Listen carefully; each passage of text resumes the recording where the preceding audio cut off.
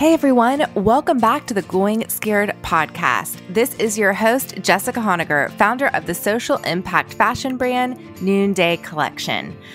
Well, we are nearing the end of our series on resilience. And I know that these conversations during my hard days, my days when I seriously just wander around my house and think, when is this all going to end? Or I am driving around with my mask on and I'm thinking, when is this all going to end?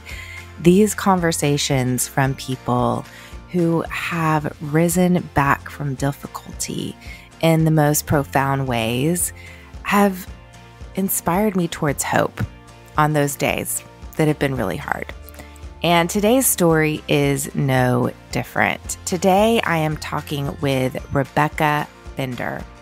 Rebecca Bender was a varsity athlete and honor roll student with a promising future when a young man pretending to be her boyfriend lured her down a path that she never imagined existed.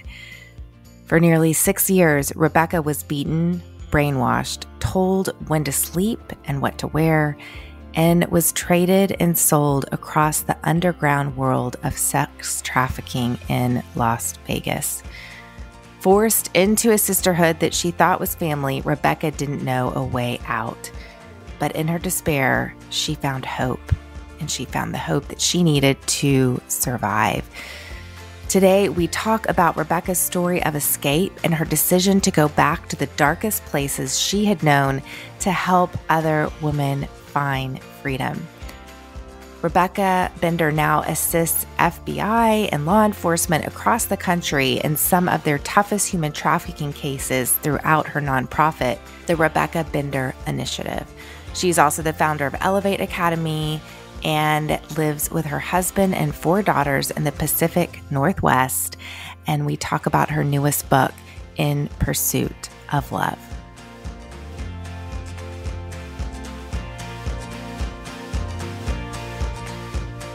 I know we have so many shared passions, and I am just thankful for your own vulnerability. And I hope this can be a space for vulnerability for you. You are so brave. And as you know, this is called the Going Scared podcast. So we're all about courage, and you truly are a courageous woman. And I want to be sensitive to your story, but I also know that you share about it so openly. So I'd love to just hear what you're comfortable sharing from the period of time that you were in Las Vegas. Let's just start there. Yes, I started sharing my story publicly a long time ago because I wanted to sound the alarm that trafficking was happening in every community, you know, across America. I think most people think of human trafficking, they envision kidnapped, white minivan, you know, children in foreign countries possibly or handcuffed to a radiator. And what people don't realize is two things. One is that actually doesn't that doesn't sell mm-hmm right? When you're t- when you're thinking of human trafficking it's it's sex for sale. And so traffickers want to keep their product sellable. So in america in a in a developed country where sex for sale is really rampant that type of um, scenario isn't isn't really what's selling. And the other thing people don't understand is that as survivors of trafficking we grew up in the same culture as all of you. So we too are envisioning white minivans and kidnapping. And when our situation mm. doesn't look like that, we don't think to even ask for help or we don't even realize that we're, you know, getting that the water's heating up around us, that it's getting really dangerous until it until it's a point of being very dangerous. And then you realize like, oh, I didn't why didn't I see this sooner? So then you feel stupid, you feel embarrassed. Mm. Um, you just self blame, like, well, I got in the car, well, I got on the plane, you know, I just have a bad picker. You know, you hear women sometimes say that when they've been in bad relationships. And and so Vic survivors domestically, we're exact we're the same. We're the same as you guys. And we end up having those same so same those same things play out in our own minds. Mm. So tell us a little bit for those of us that are unfamiliar with your story. Um, why don't you share a little bit about your story? Yeah, I grew up in a small small town in southern Oregon, just an average kind of all American small town kid, blue collar family. My dad worked at the local lumber mill. Uh, my mom taught aerobics on the side. And I just grew up with a normal childhood. I grew up skipping rocks at the river and having swim holes and, you know, jumping off of the little swing in a tree into the river. Um, I was an only child, was real close with my cousins. I'd, you know, go out to the garden with a salt shaker and pick a tomato and just normal kind of small town farm kid. Um, I had a praying grandma, but I was not raised uh, in a faith based home. My dad and mom actually kind of partied a lot on the weekends. And I can remember going to friends' houses and the parents would be all out in the living room having a drink and the kids would be in the back playing Nintendo. And that was just kind of my life growing up. When I was nine, my parents divorced. It was a really ugly divorce. Um, a lot of throwing things against walls, a lot of screaming, a lot of um, fighting. My dad started drinking really heavy. And I can remember someone would knock at the door and he would have me hide all the alcohol. And now that I'm obviously older and hindsight's 2020, but you do this work when you're working through your trauma to build resiliency and you you realize that there were these these pivotal moments that took uh, root in your heart that actually you know almost like lies took root that you didn't realize as a kid and i think in some of those moments i i started realizing um, or i was taught rather that you hide secrets in this home, right? You you self medicate and then you hide it, and and that's kind of what was modeled for me. By the time I was uh, starting high school, things had turned around. My mom had got remarried, and I was a varsity athlete, an honor roll student.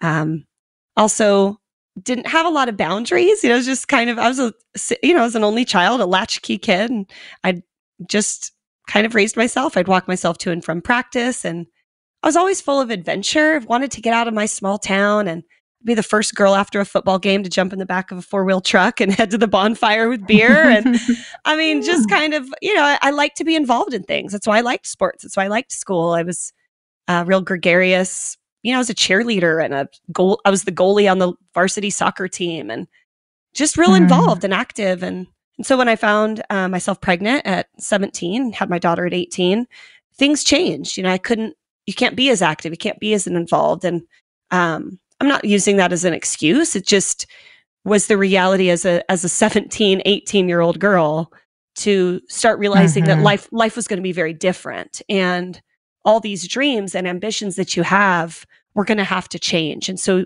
you're kind of grieving the loss of those ideals and trying to navigate being a single teen mom. Um, that's hard. And giving up your mm-hmm. dorm room at college and um, staying in the small town and thinking, okay, what what now? And that's when I met the most amazing guy.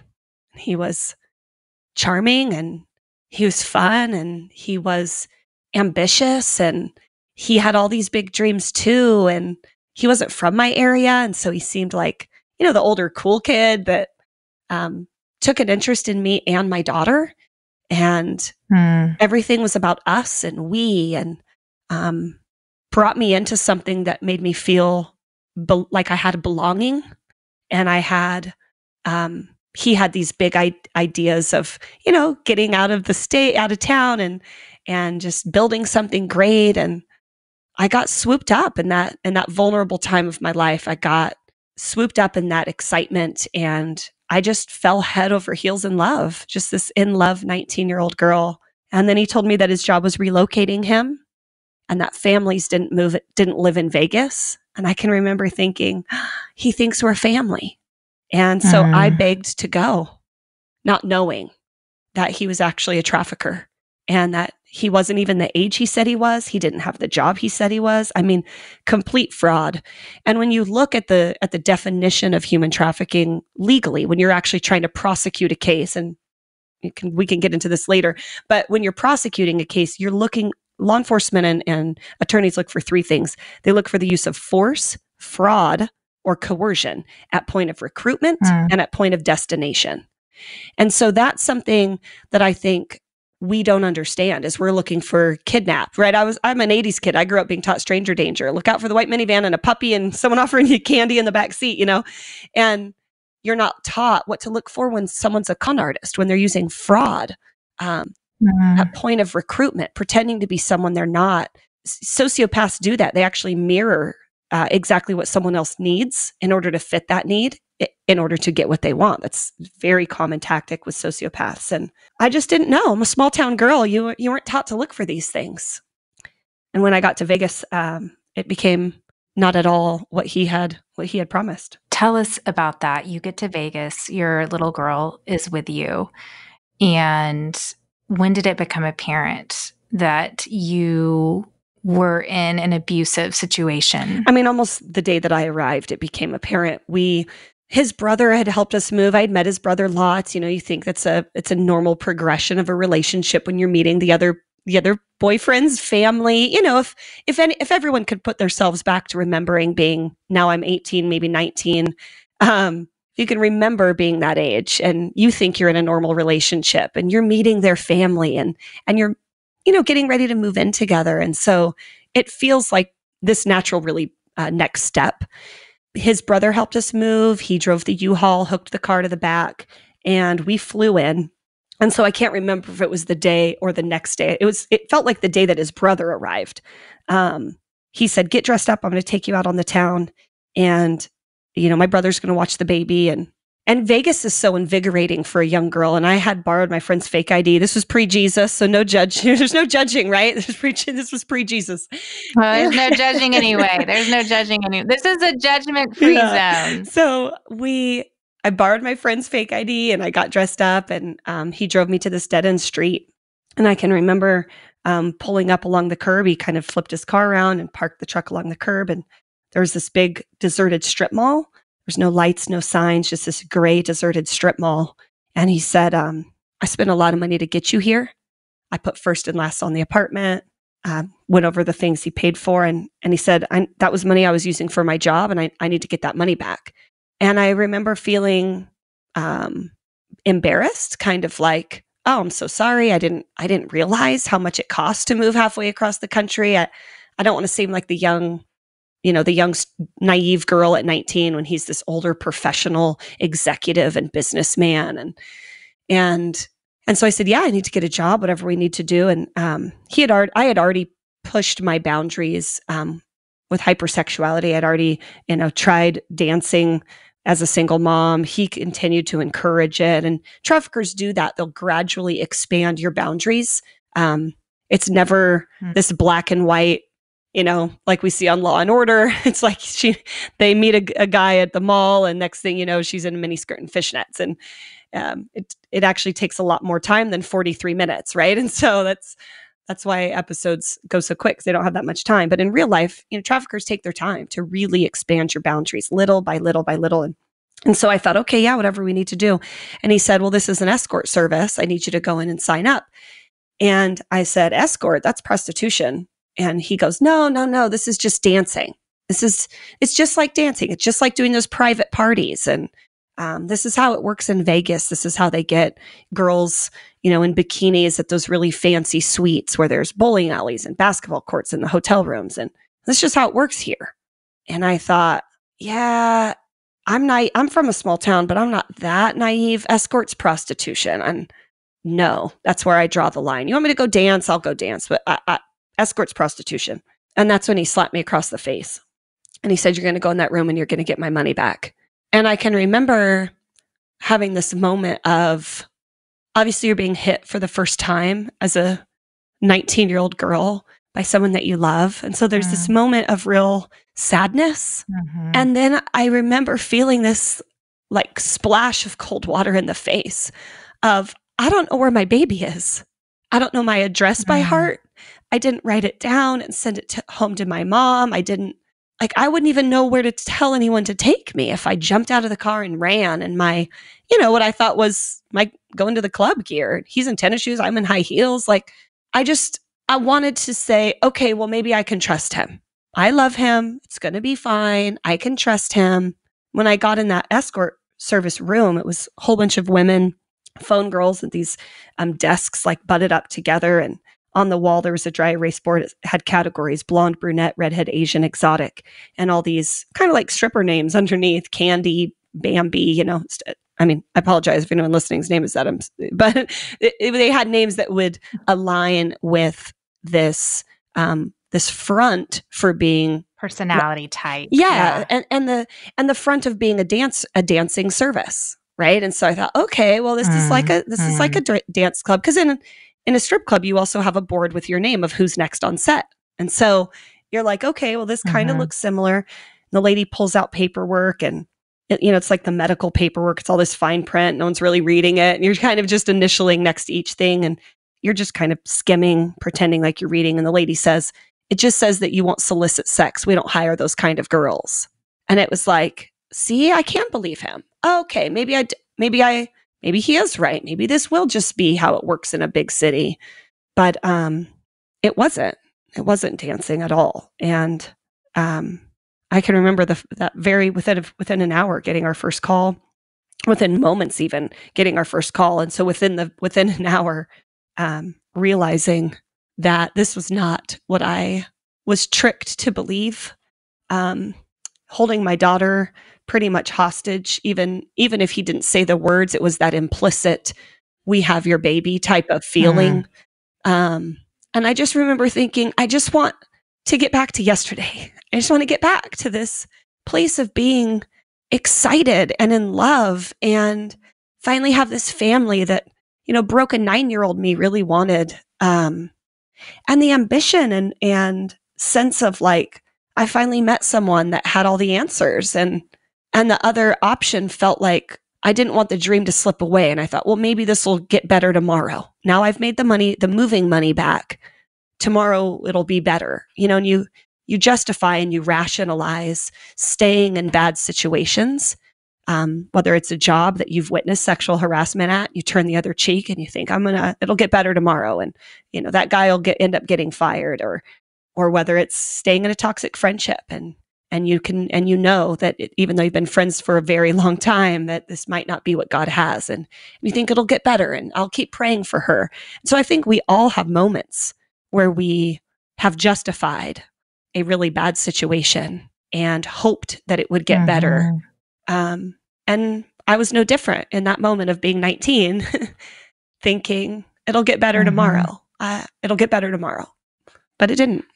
What are some of those tactics of abuse that kept you in this enslaved, both physical situation and even in your mindset that you were trapped? You know, I think traffickers are they're very good and calculating. Um, they're being very thoughtful of their plan. They're a they're a long term con artist. They're not, you know, this isn't a crime of passion. This isn't a a, a rageful night of we're going to abuse a girl and then put her through this honeymoon. You know, they're they're actually very calculating in the way they continually feed your lies.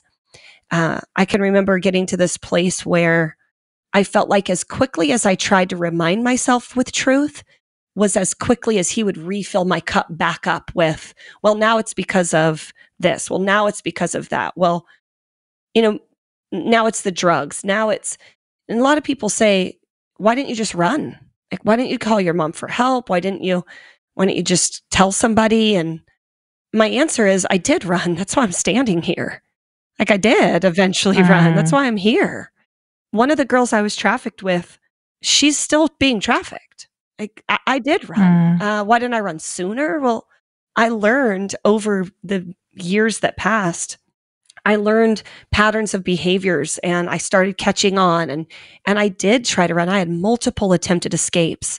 I learned that post 9/11 um, you can't buy a plane ticket with cash. I don't know if most people don't know that because I got all the way to the airport with mm. my baby and they wouldn't sell me a ticket.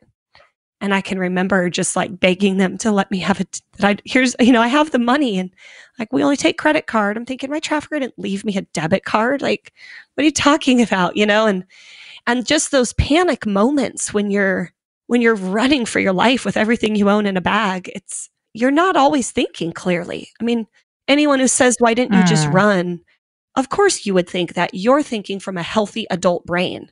I'm thinking in the moment right. from a traumatized, beaten, brainwashed, uh, the you know fight. I'm in fight, flight, or freeze mode. I'm in trauma mode. I, have got a little. Mm-hmm. I've got a mm-hmm. baby. I have to worry. Like it, it's it's not as simple as someone who's thinking from like a really safe, healthy moment of why didn't you just run? And so mm. I think we forget that. We forget brainwashing is a very real thing. Uh, why did everyone drink the Kool Aid in Waco? Mm-hmm. Why did how did they how did Marilyn Manson get people to do all those? Like brainwashing is very real, Mm-hmm. and we all think we'd be Mhm. smart enough to recognize, but it's such a slow indoctrination. Um, actually, Hitler said, "Keep the lie simple, keep it small, and keep saying it, and eventually they'll believe it."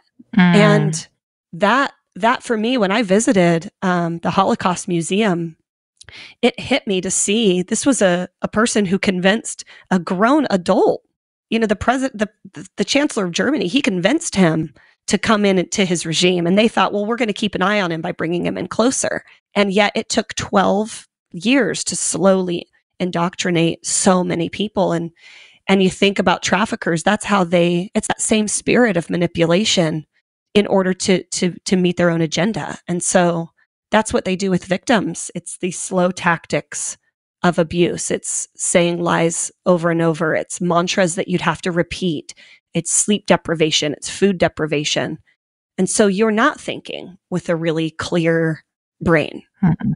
How many years did you remain in that cycle of abuse? i was there for almost six years um, about six years. God, Mhm. it's a long time. almost six years. I was traded between three different traffickers in that time.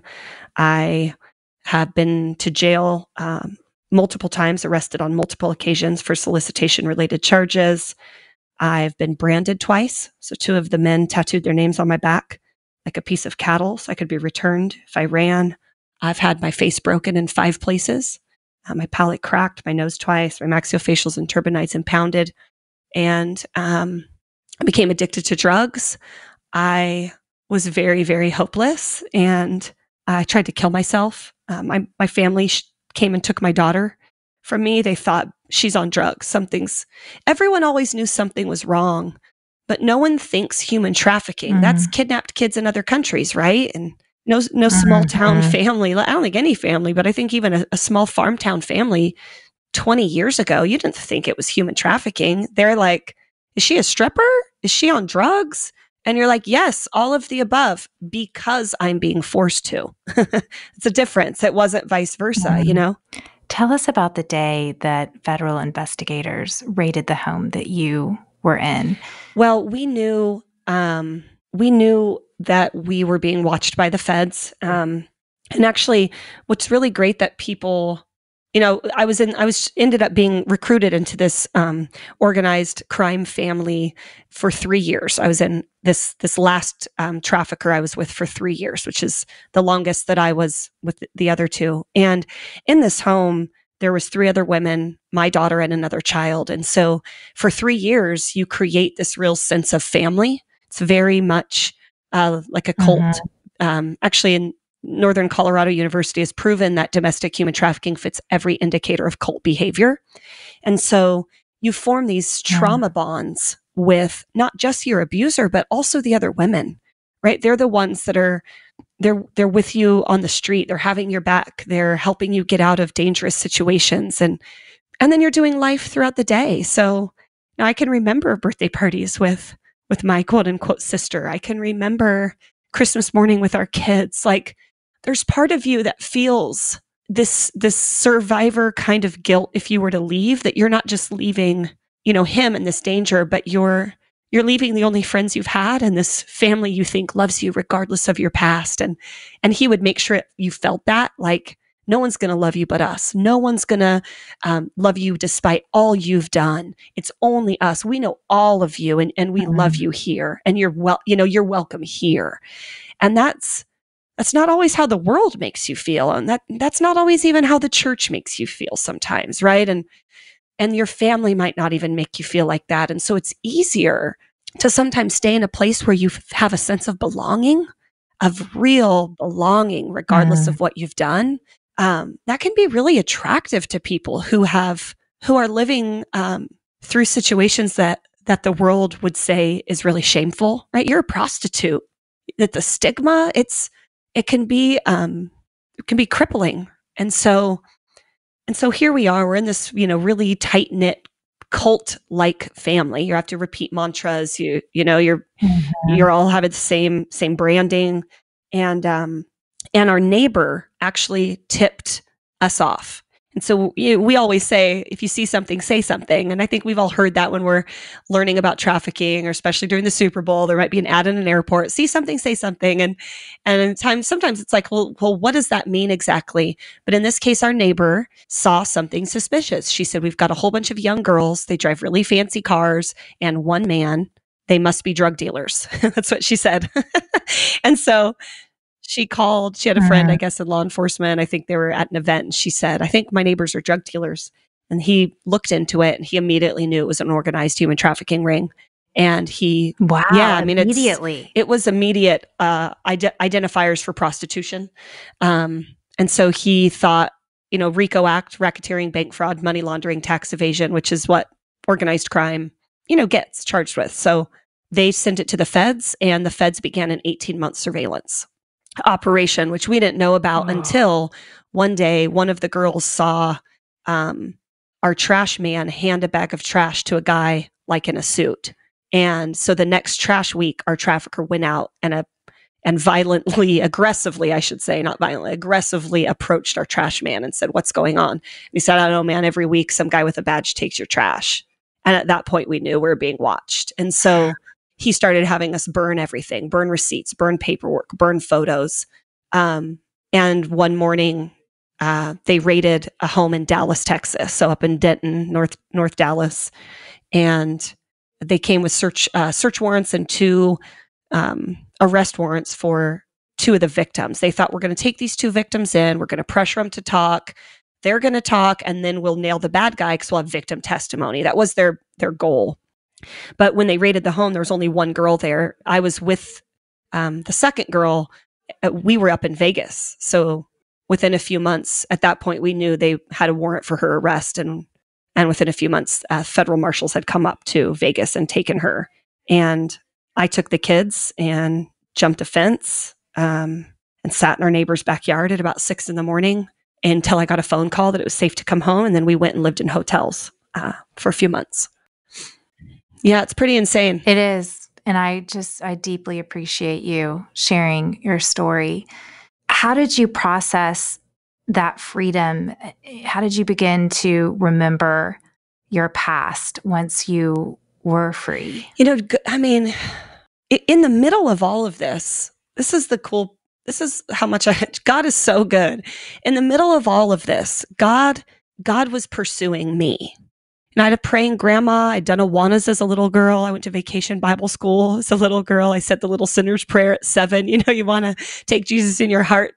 And, um, and so when Jesus started pursuing me throughout all of this, I started having radical little little encounters with God and I started thinking, is this God thing real? Like is this God thing my grandma used to talk about actually real or am I high? Like that's what I thought.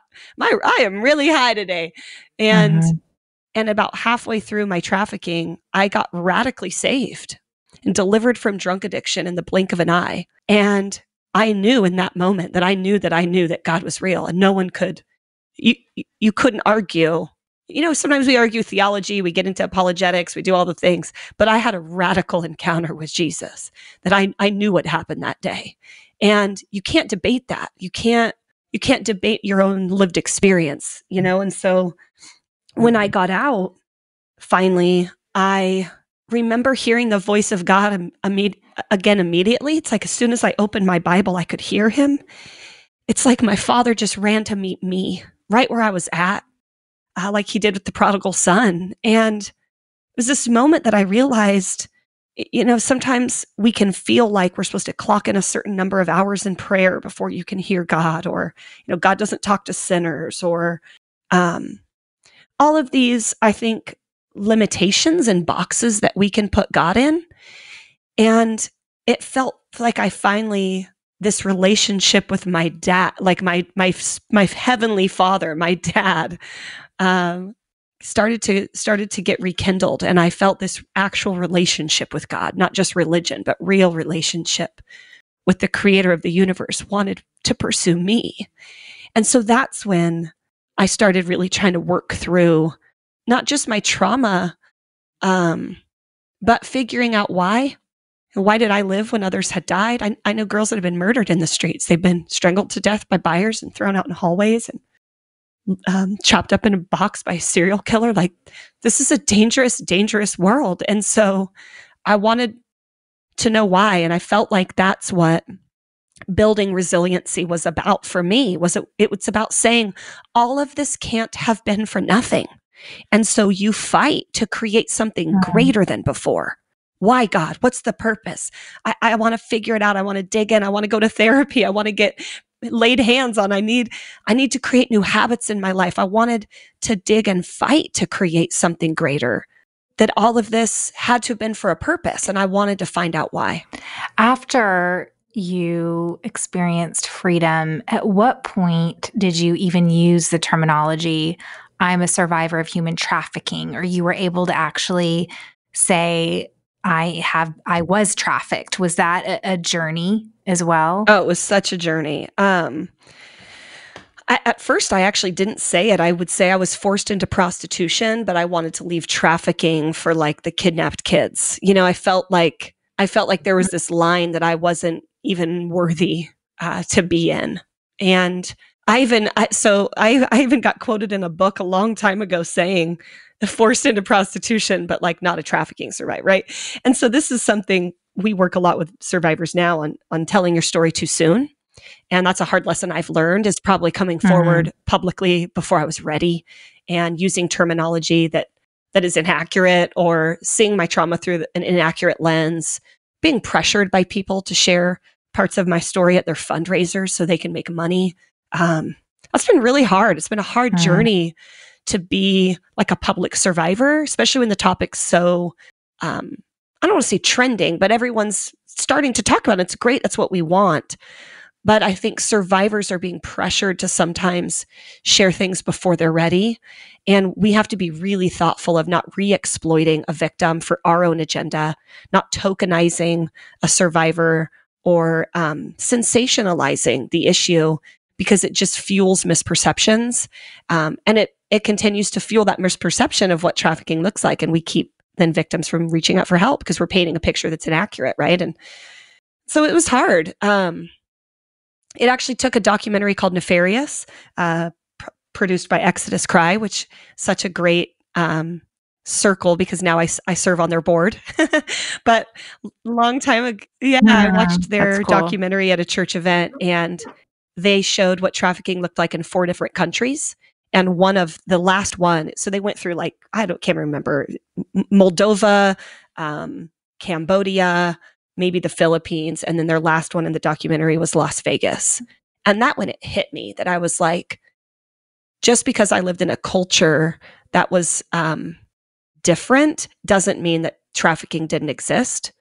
It didn't mean that just because we live in a first world developed country with internet and um, different cultural stigmas, it doesn't doesn't mean that I wasn't trafficked. It just looks really different based on the culture and community in which you live. And and so the more I got educated about this issue and the more I would attend events and go to workshops and conferences and read books, um, take classes, the more I started realizing, you know, there's 25 different types of human trafficking. That's proven research by the Polaris Project. And and if we're only looking for one type, we're literally going to miss two dozen other ways that it may look in your very own community whether it's illicit massage or cantinas, mm. local brothels, street prostitution, online ads, cam girls, strip clubs, pornography, any form of commercial sex, if someone else is profiting from that victim, it's a concern that we need to be sure that someone's there by choice and not force. And even with choice, it's like, yeah, mm. choices can be kind of subjective. Like, yeah, no, I want to do this, but I've been in foster care my whole life and I've been abused. And now I think this is how, you, you know, it's like, okay, well, I think people need to know they're valuable. And I want all women to know mm that they can go after the call of God regardless of their past and to really figure out what that is and and that their story matters. We all don't have the same story, but we all have a story. We all have a testimony and um and it matters and it's going to change it's going to change your legacy, it's going to change your kids, it could change your community and um it could change culture. And that's what we're really pushing to do is is to help people see that that this exists. It's incredible because so many people the idea of going back to the source of their trauma is overwhelming. And yet for you you've openly shared your story but not you're not just sharing your story. You are the ceo and founder of the rebecca bender initiative.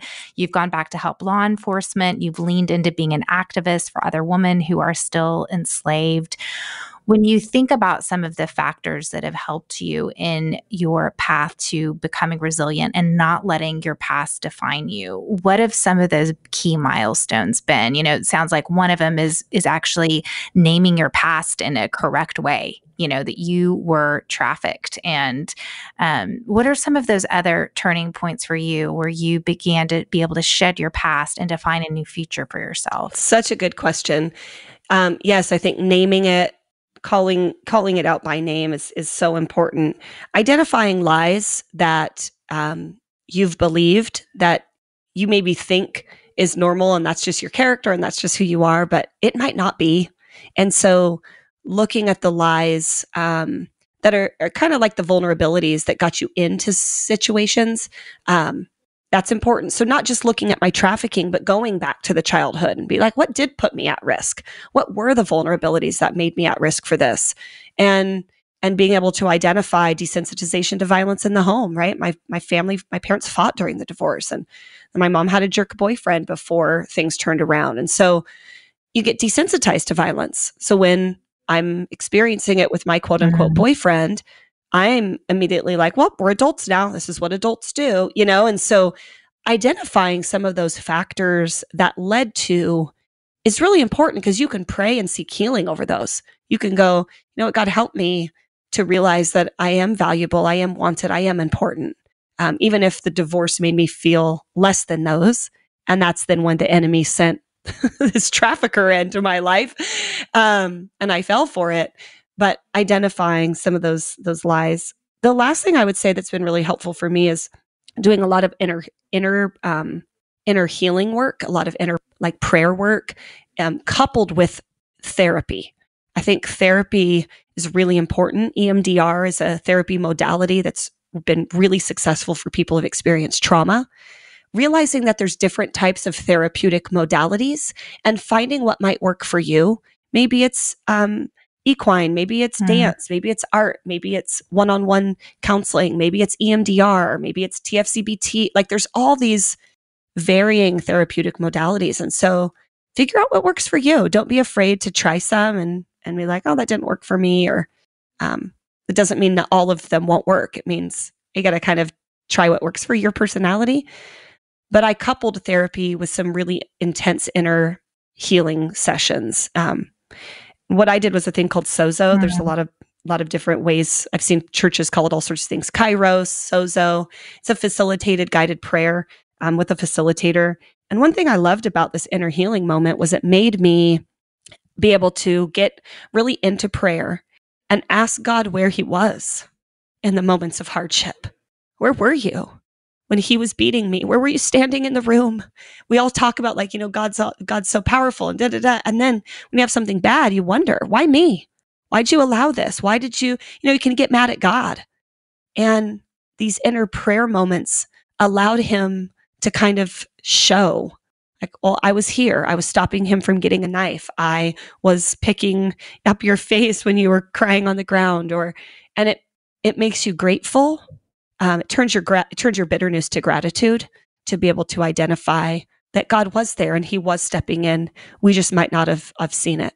What are the sort of situations that trigger you even now where you realize you're responding out of a place of cynicism and bitterness as opposed to hope and resilience like do you do you notice those things still i'm i'm getting a lot better at identifying actual triggers ptsd actual triggers from from the trauma versus a, height, a heightened emotional response mm-hmm. and i think mm-hmm. finding that line has just taken time um, I had a, a, moment I was in Berlin. We were doing this big training with a, a therapist, a friend of mine, and we were walking and we're talking about something. And I got upset. And when we got to the event, she said, she said, I noticed back there um, you had this real heightened emotional response to what we were talking about.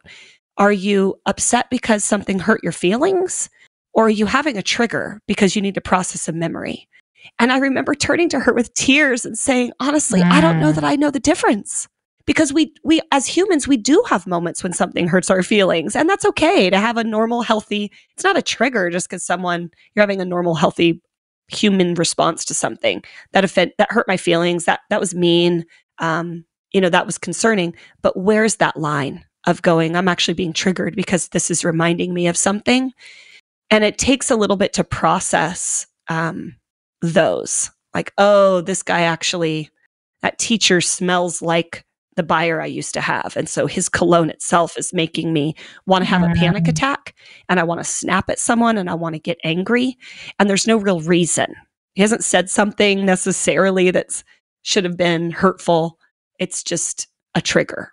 And figuring out what that difference is and how to either process being hurt or really process a, a, an actual memory that needs to potentially, yeah, A that's harder. That's really helpful. That's really helpful, though. In your book, In Pursuit of Love, it's not only a gripping memoir, but it's a call for us to take our own journey to places that we never thought possible. So tell us, how did you sort of land on this story? That where do you want to take the reader in your book? Writing this writing this story was so um, fun, and I've learned so much about just the publishing process. Uh, you know, you you well know this when you sign your book deal, you're contracted for a certain number of words, and I was contracted for around fifty five to sixty thousand words. And I turned in the manuscript and it was 93,000. And they were like, oh, so we're going to have to cut half of this. And that was really hard to figure out like well what stories do you keep in what stories do you leave out where do you really want to take the reader i wanted people to be exposed to like bad and good sides of every person i wanted people to see the bad cop and the good cop i wanted people to see the bad buyer and the good i don't want to say a good buyer no one's really a good buyer but but the humanity and the empathy that that the father has for everybody i wanted moments of that for people um, but I really wanted people, I wanted to tell a story of why we're not running so quickly. Because that's always the question everyone asks. Why didn't they just run? And I, I hope that through this memoir, people get a much better idea of what this daily family is like, what this real sense of feeling a, a member of this, this quote unquote family can be so um, could be so hard to leave because you feel like you're leaving all your friends behind. That the guilt of what if he starts hurting her or hurting him if I leave, um, you carry some of that. And as women, we do that naturally, right? We naturally like put others first and and put our kids first and put our friends first, put our our parents, our our family first. We're not choosing ourselves first often. That's a really that's just not an innate thing we do anyway. And so in those moments of like leave all the other girls behind to suffer and figure it out, why they all go to prison, you worry about you. uh, That's just not how you're thinking anyway. Um, let alone you add all the trauma, you know? So it's Mm.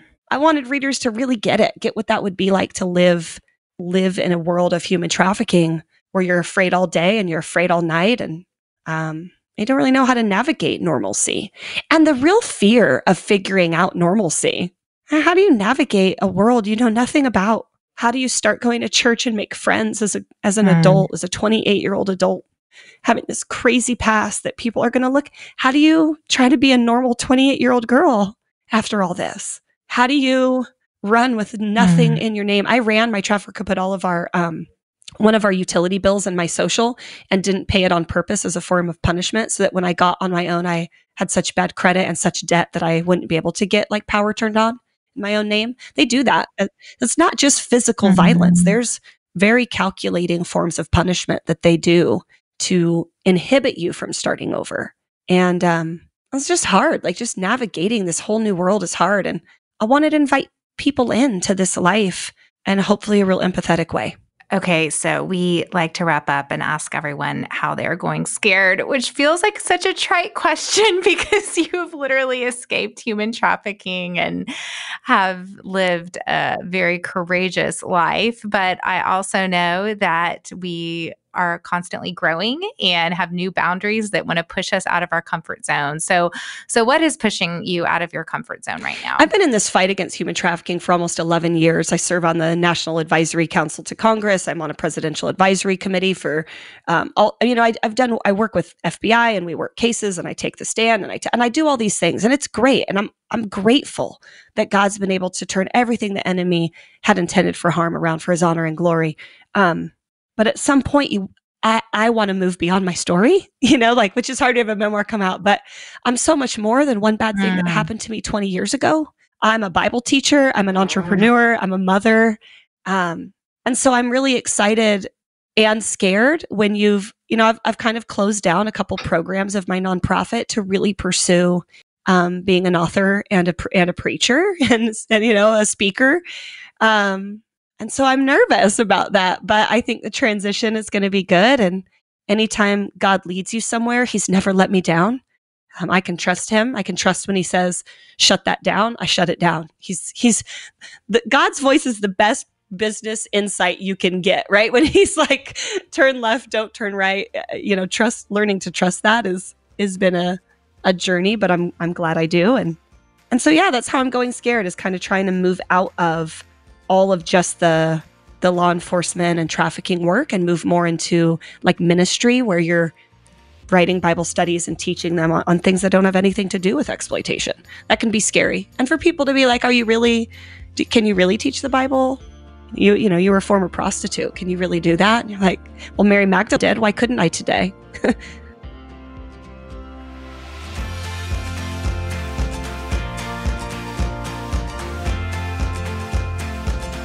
actually recording this in real time, but I recorded this conversation with Rebecca a few weeks ago. But I still remember when she talked about naming that she was trafficked, naming that she had been victimized. There's so much power in being able to name our stories, and it's only when we can accept and name our stories that we can begin to heal from them. So I think that's an important, important thing to note for this time that we're in right now. What maybe do you need to name? What grief do you need to name? What emotion do you need to name? When we can name it, as my therapist used to say, we can tame it. Thank you so much for joining me on today's episode. Today's episode is produced by Eddie Kolpoltz the music is by my friend Ellie Holcomb. And until next time, I'm Jessica Honegger. Let's take each other by the hand and keep going scared.